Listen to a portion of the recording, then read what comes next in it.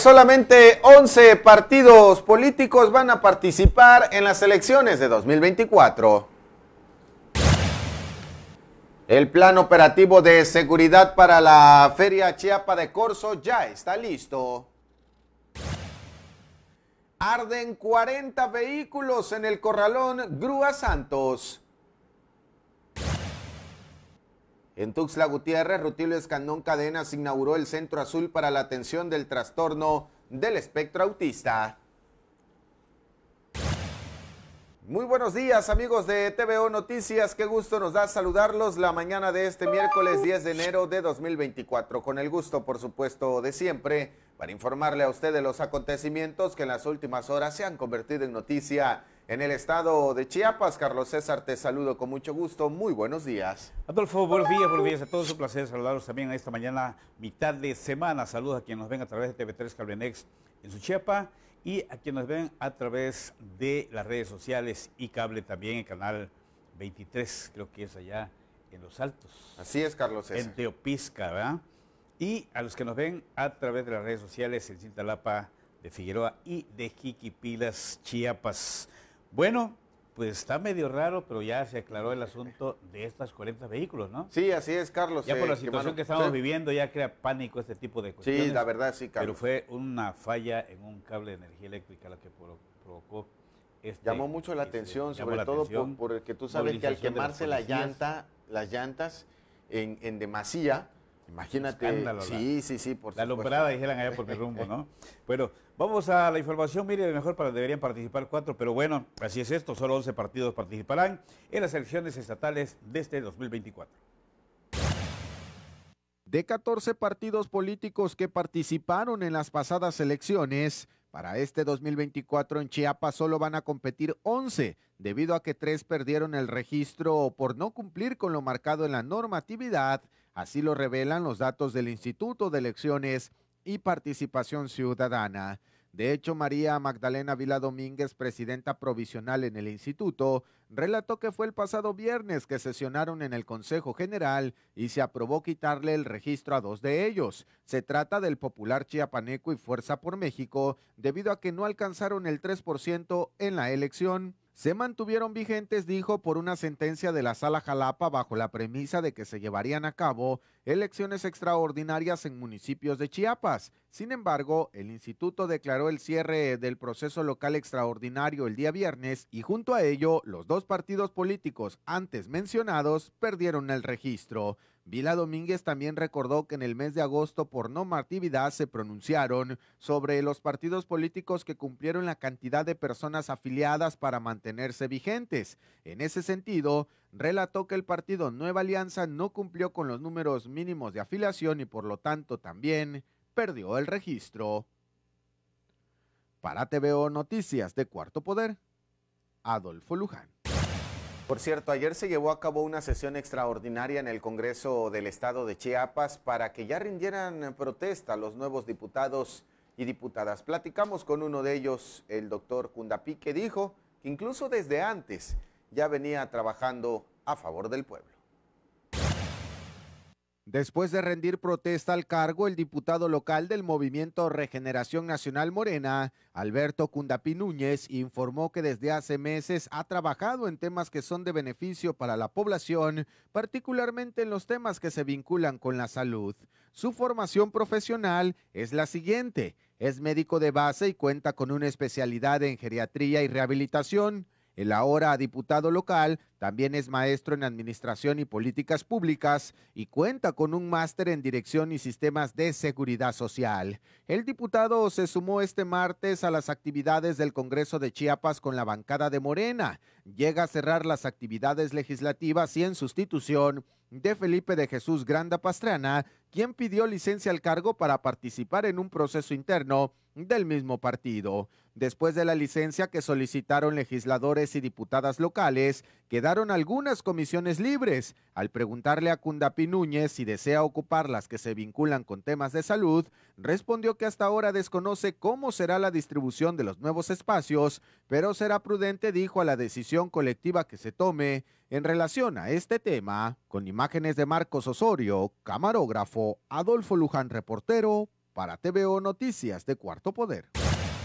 Se sacaron la lotería sin comprar el cachito los nuevos diputados locales. Ojalá hagan algo en un año que van a estar en el puesto y aprovechar para también eh, dar a conocer su imagen, porque muchos los suplentes lo meten de relleno y ni siquiera saben ni quiénes son ni de dónde vienen. Vamos a más información. Los consejos municipales podrán ser sustituidos por autoridades electas.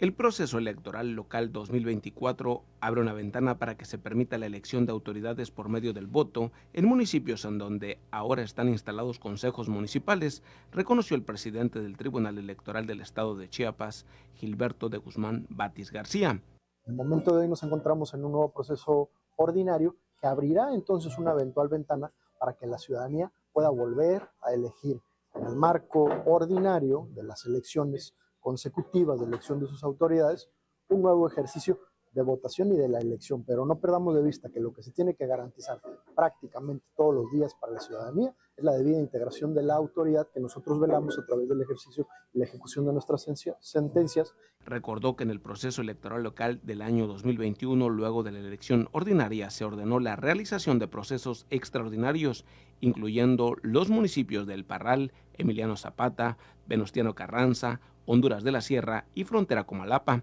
por lo que se tuvo que llevar a cabo este proceso para realizar la elección de sus autoridades. Como resultado de lo anterior, la autoridad administrativa electoral determinó que no existían condiciones para la realización con seguridad tanto para los integrantes del cuerpo electoral como para la ciudadanía en dos de estos municipios, Honduras de la Sierra y Frontera con Malapa, por lo que dijo a través de la instancia jurisdiccional se ordenó la realización de un nuevo proceso electoral hasta en tanto existieran estas condiciones. Aseguró que al día de hoy las instituciones, las organizaciones encargadas de poder asegurar que existan estas condiciones no han tenido certeza sobre la propia realización. Además, agregó que como tribunal es muy importante que se garantice la participación política en el ejercicio electoral, pero dijo lo más importante para nosotros es la debida integración de la autoridad, porque para eso es el ejercicio ciudadano, para que contemos con una autoridad que nos represente y nos garantice los servicios básicos. Para TV Noticias de Cuarto Poder, José Ortega. Por cierto, donde también ya listan la renovación es en el Consejo Estatal de Notarios. Notarios renovarán la Junta Directiva del Consejo Estatal de Notarios del Estado de Chiapas en el mes de febrero, por lo que se encuentran en proceso de registro de planillas. Al respecto, el presidente del Consejo Estatal de Notarios del Estado de Chiapas, Noé Díaz González, dio a conocer que el proceso inició desde el pasado 27 de diciembre. En este periodo, abierto desde el 27 de diciembre del año pasado, estamos en el registro de las eh, grupos de notarios interesados en formar la directiva y encabezar la próxima directiva del Consejo Estatal de Notarios. Apuntó que se sigue abierto el periodo y comentó que de acuerdo con los estatutos, las elecciones serán el segundo lunes del mes de febrero, que para este año es el día 12. En este contexto, el martes 9 de enero solicitó su registro la planilla de notarios públicos Construyendo Juntos, la cual preside la notaria Rosario Chacón Sánchez, quien dijo que encabeza una propuesta de unidad y es lo que buscan de manera fundamental. Realmente lo que nosotros queremos y estamos pugnando y estamos proponiendo es por un notario unido, fortalecido, fuerte. Esto para lograr pues que los usuarios, los que nos solicitan los servicios notariales, que es la sociedad chiapaneca, tenga esa seguridad, ese convencimiento que acudir al notario va a poner en manos de personas altamente capacitadas su patrimonio, lo que ha eh, pues logrado adquirir durante toda su vida. La planilla se integra por los titulares de notarías, como presidenta Rosario Chacón Sánchez, secretario José María Morales Medina, tesorera Guadalupe Gómez Casanova, primer vocal Raúl Ramírez Elizalde y segundo vocal Iván Antonio Guzmán Sánchez. Para TV Noticias de Cuarto Poder, José Ortega. Vamos a otra información no tan buena porque lo estamos resintiendo en la canasta básica. La inflación cerró en 4.66% en el 2023. Al cierre de diciembre de 2023, el índice nacional de precios al consumidor registró un incremento de 0.71% respecto al mes anterior, con este resultado, la inflación general anual se ubicó en 4.66%, esto de acuerdo a los datos emitidos por el INEGI.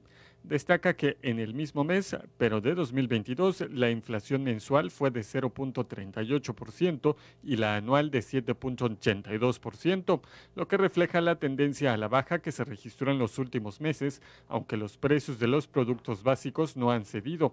Informó también que el índice de precios subyacente aumentó 0.44% a tasa mensual y 5.09% a tasa anual. El índice de precios no subyacente presentó un alza de 1.53% mensual y de 3.39% anual. A tasa mensual, al interior del índice subyacente, los precios de las mercancías subieron 0.32% y los servicios 0.58%. Dentro del índice no subyacente, los precios de los productos agropecuarios crecieron 3.25%. Los productos genéricos con la mayor variación al alza en sus precios fueron el jitomate con una variación del 29.60%, la cebolla con el 55.29%, nopales con el 33.76%, el tomate verde con el 16.69%, el transporte aéreo con el 15.82%. El contador público René Cruz Montalvo comentó que la percepción ciudadana que prevalece es que los productos siguen demasiado altos, sumado a los los gastos escolares, gastos del hogar y demás. Con imágenes de Marcos Osorio para TVO de Cuarto Poder, William Chacón. Por cierto, mire, es una obligación este tema que tiene que ver con el trámite de la firma electrónica. Contador público y fiscalista Néstor Gabriel López explicó que hay diversos trámites fiscales que los contribuyentes, personas físicas y morales, no deben olvidar, principalmente el generar o renovar su firma electrónica para no tener dificultades en el futuro con la autoridad fiscal. El tener un ingreso por una fuente lícita significa que se tiene que pagar impuestos.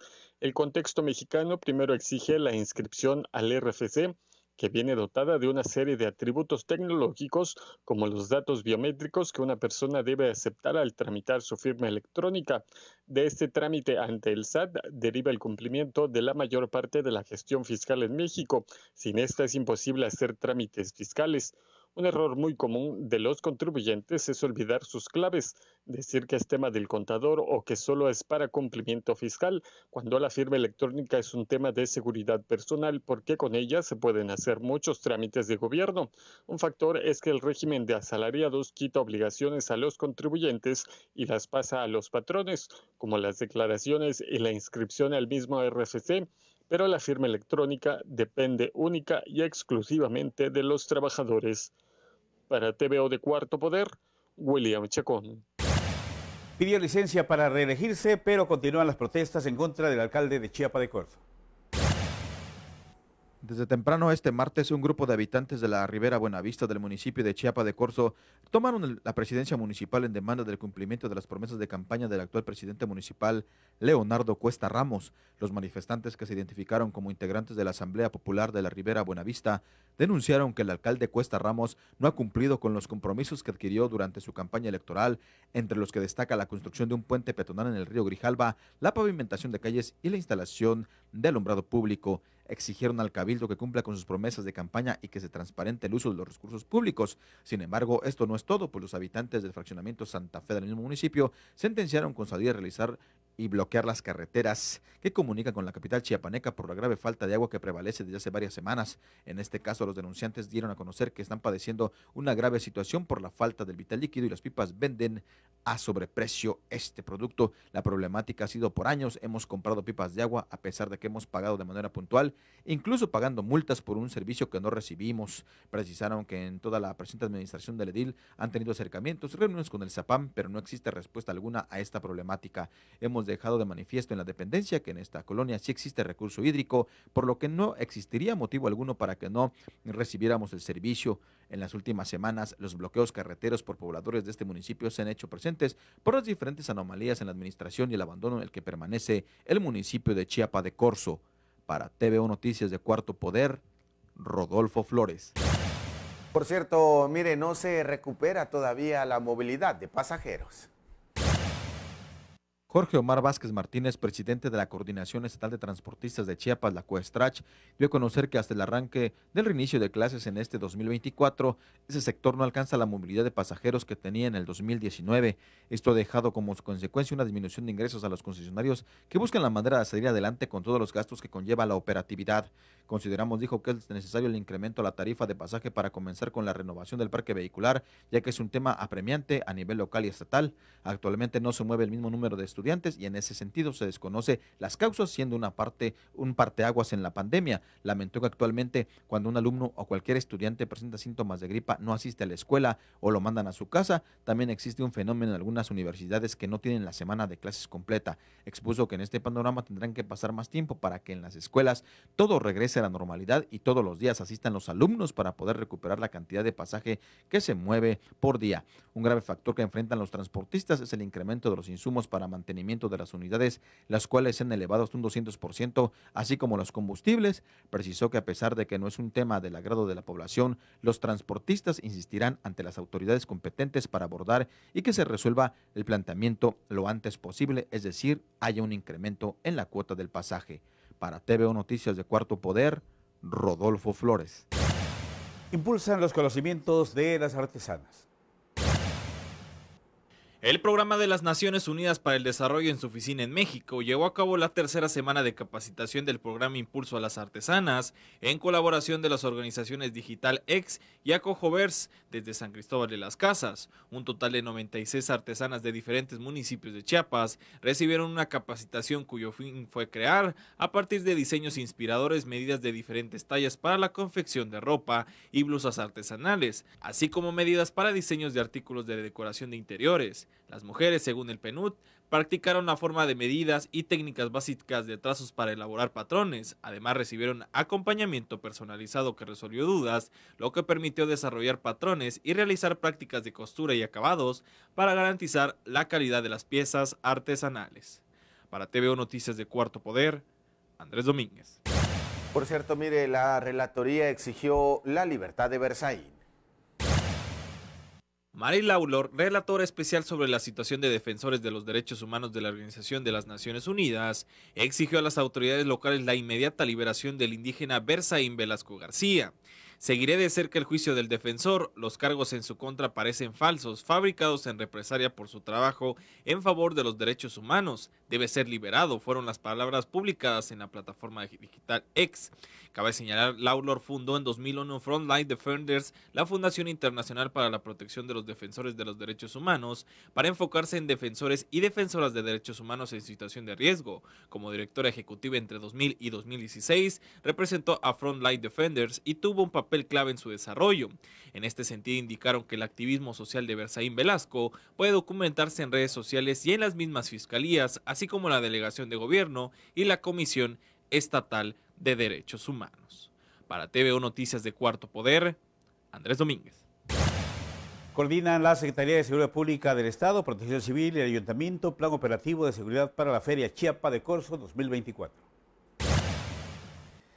Por acuerdo de la Mesa de Seguridad Estatal, la Secretaría de Seguridad y Protección Ciudadana del Estado, la Secretaría de Protección Civil y el Ayuntamiento coordinan las áreas para la elaboración del plan de seguridad que se aplicará en la Feria de Chiapa de Corso 2024 con el objetivo de garantizar la seguridad de manera integral de la población y visitantes que se darán cita en esa ciudad. En el marco de la reunión de trabajo con autoridades federales, estatales y municipales, se estableció el plan sistemático operativo de seguridad a implementarse en ese evento en el que se desarrollarán actividades culturales, artísticas, comerciales y deportivas. Además, en la reunión que encabezaron la secretaria de Seguridad y Protección Ciudadana Gabriela Cepeda Soto, el secretario de Protección Civil Luis Manuel García Moreno y autoridades del Ayuntamiento de Chapa y Corzo, se hablaron los puntos estratégicos de seguridad que se pondrán en marcha tanto en el interior como en el exterior del recinto, a fin de salvaguardar la integridad de la ciudadanía. Asimismo, se contará con un sistema de videovigilancia que contribuirá a fortalecer las acciones en materia de seguridad y prevención de delitos y así atender de manera oportuna y eficaz a la población y a los visitantes. Por cierto, el Poder Judicial realiza un examen de oposición, esto para garantizar transparencia. Le platico esta información y es que con la finalidad básicamente de robustecer el sistema institucional de carrera judicial y derivado de la convocatoria emitida por el Consejo de la Judicatura del Estado el pasado octubre, el Poder Judicial del Estado de Chiapas, que encabeza el magistrado presidente Guillermo Ramos Pérez, llevó a cabo el primer concurso de oposición para personas aspirantes a categoría de juez o jueza, secretario o secretaria de acuerdos o instructor, secretaria o proyectista, actuaria o notificador y defensora públicos de juzgados especializados en materia laboral. En la ceremonia de arranque de esta actividad, el magistrado presidente Guillermo Ramos destacó la relevancia de estos procedimientos transparentes al interior de la Casa de Justicia para fortalecer las labores jurisdiccionales en beneficio de la población. Aquí en Tuxtla Gutiérrez arden 40 vehículos en el corralón Grúas Santos. Información de mi compañero Ulises López dice que al menos 40 vehículos se incendiaron al interior de un corralón en la colonia El Brasilito. El hecho tuvo lugar alrededor de las 15, 40 horas cuando distintas corporaciones policiales y ataque rápido se movilizaron sobre la avenida El Roble de la referida colonia. Ahí se informó que un cable de alta tensión cayó en este predio y ocasionó un fuerte incendio que se avivó por el pastizal seco y finalmente comenzó a consumir los vehículos aparcados. En este sentido, se informó que fueron aproximadamente unos 40 vehículos y al menos 6 hectáreas de pastizales en las colonias Las Palmas y El Vergel, sobre la zona norte de la ciudad de Tuxtla Gutiérrez, los que ardieron. Las llamas literalmente redujeron a chatarra los carros, entre ellos modelos antiguos y recientes. Al lugar se movilizaron corporaciones de protección civil municipal, estatal y el hélico cuerpo de bomberos. Estos trabajaron a marchas forzadas y se tuvo que desalojar escuelas e instituciones cercanas a la zona donde se extendió la densa humareda. Tuvo que transcurrir casi cuatro horas para erradicar todo el problema que llevó el siniestro antes descrito. Se indicó que ya se investiga el caso. También hubo incendio a la salida del municipio de Tenejapa.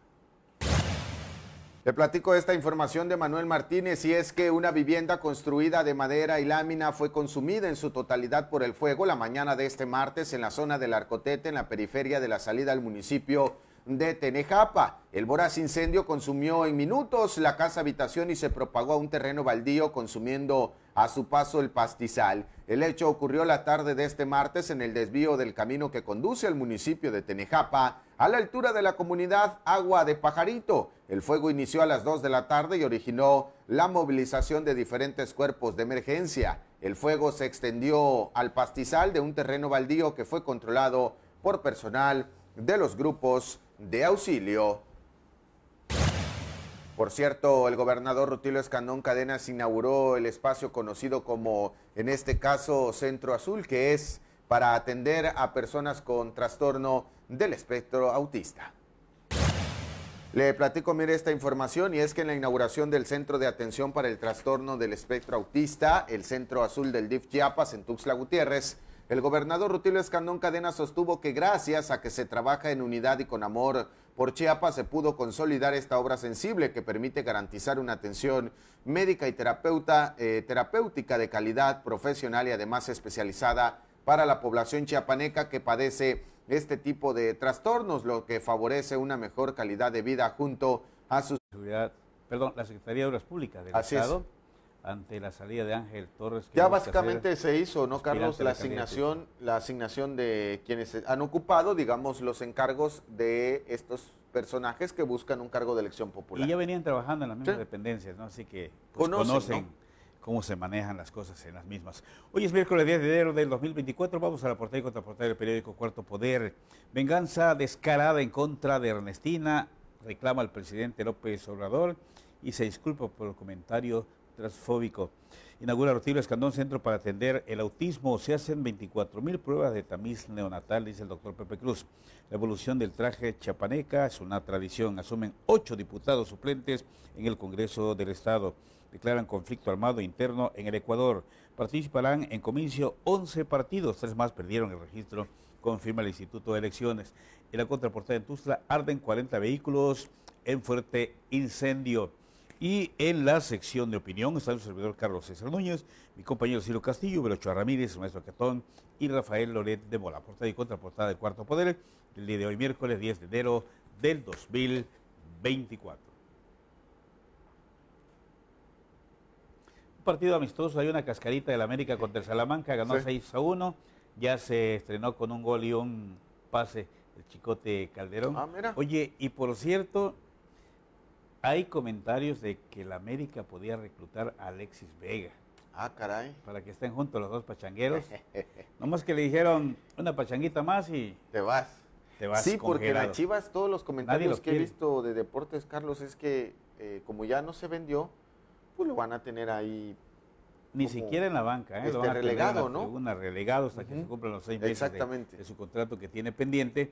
Pero además hay ahí el pacto de, de amigos, según leía yo ayer, entre los- todos los clubes, que ninguno lo quiere este, reclutar. ¿eh? Ah, mira. Y el América dice, pues veamos cuánto quieren y a lo mejor le puedo sacar jugo y lo puedo vender después a Europa. ¿no? Ese Puede es el negocio del fútbol. Vamos a más de la sección deportiva. El maestro internacional Abel Justo Dávalos Prieto se consagró monarca en el torneo Día de Reyes de Ajedrez 2024, efectuado el pasado fin de semana en las instalaciones del Centro Cultural y Museo David Gómez Solana de Tuxtla Gutiérrez. Dávalos Prieto, representante del Club Carlos Torre, hizo gala de su experiencia para ir sumando victorias en las primeras cuatro rondas, llegando a la quinta y definitiva con la posibilidad de quedar campeón únicamente con el empate de tal forma que las miradas se centraron en la partida que sostuvo frente a otro de los grandes ajedrecistas presentes, Rommel Gutiérrez Balbuena, quien aunque intentó acercar a Rey en diferentes movimientos, al final quedó tablas. Fue así como Abel Dávalos se quedó con el primer lugar al acumular 4,5 unidades. El segundo puesto fue para Rommel Gutiérrez Balbuena con 4, mientras que la tercera posición fue para José Miguel Monjarás Pérez. De acuerdo a la convocatoria, los tres primeros lugares por puntos se repartieron premios de 1000, 1500 y 500 pesos.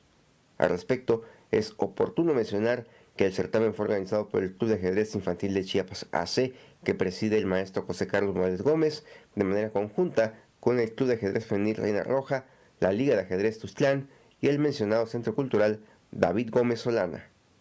Para TVO Deportes de Cuarto Poder, Jesús Ortega. Si bien Cafetaleros de Chiapas arrancará la segunda vuelta de la temporada 23-24 en la octava posición del Grupo 2, la ilusión de recuperar el terreno perdido y avanzar a la liguilla sigue vigente. Así lo manifestó Luis Fernando Hernández Betancourt en la semana previa al juego de la fecha 18, en la que visitarán al Inter de Querétaro. El futbolista tapatío destacó que el funcionamiento colectivo ha ido mejorando, como se vio en el último amistoso que disputaron contra Deportivo Profu Soccer, al que vencieron 3 a 1. Si te das cuenta, cada partido se va eh, acoplando un poco más el grupo, eh, nos sirve mucho para, para este ah, inicio de, torneo y más que nada para, para tomar ritmo todos los, todos los compañeros, irnos un poco eh, cada vez más acoplando. No obstante, reconoció que será una versión renovada de Cafetaleros luego de las numerosas bajas en el plantel, así como la llegada del nuevo entrenador César Alexenícer, pese a lo cual se dijo convencido de que este torneo les irá bien. A este respecto, y sobre las posibilidades del equipo de recobrar el protagonismo, Hernández apuntó que es por lo que trabajan día con día. Claro que sí, o sea, eh, todos tenemos eh, la ilusión de, de calificar, eh, pero esto eh, eh, pues es cada eh, partido con partido a partido, también no, no hay que pensarlo luego en, en la clasificación, yo creo que es, es ir paso a paso y, y yo creo que con el esfuerzo de, de cada uno eh, vamos a, a poder lograrlo. Para TVO Deportes de Cuarto Poder, Jesús Ortega.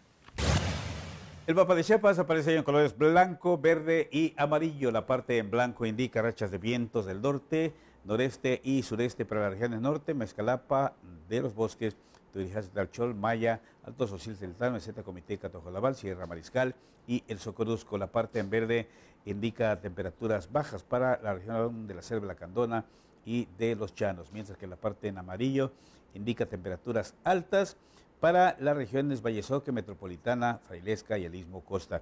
El potencial para lluvia será bajo en la mayor parte de la región. No obstante, podrán presentarse lluvias dispersas en Chiapas, Tabasco, Guerrero y Oaxaca. Por su parte, se mantendrá el viento de componente norte en la región, con rachas de viento del norte y noreste de 20 a 30 kilómetros por hora en Chiapas, rachas de hasta 50 kilómetros por hora y de hasta 70 kilómetros en el istmo de Tehuantepec, Oaxaca. Tome sus precauciones por los cambios de climas en municipios y regiones de Chiapas. Y con eso nosotros llegamos a la conclusión de esta primera emisión. A las 2 de la tarde le tendremos más información. A nombre de todo el equipo, la gente que hace posible este espacio, TVO Noticias de Cuarto Poder. Carlos César, gracias. Buenos días. Gracias a ti, Adolfo, sobre todo usted que nos ve y nos escucha, que siga teniendo una excelente mitad de semana. Gracias. Hasta mañana.